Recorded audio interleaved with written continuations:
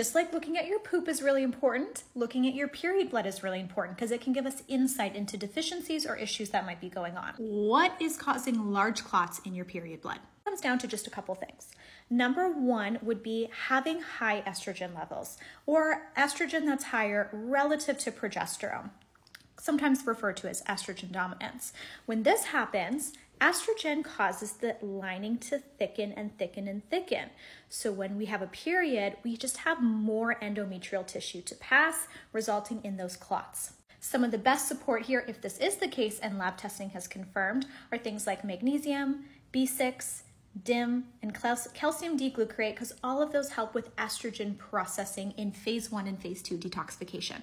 Another potential could be that your ratio of omega 3 to omega 6 is off. So many of us eat too many omega 6 fatty acids, things that are found in seed oils, in fried foods, in meat, in eggs, in dairy, whereas omega 3s, which are very anti inflammatory, are going to be found in chia seeds, fatty fish like sardines and salmon. Reporting your omega-3 to omega-6 fatty acid ratio can also be helpful here. So some gals opt for taking a fish oil, which is very valid, or if you're like me, you can eat a lot of sardines all the time.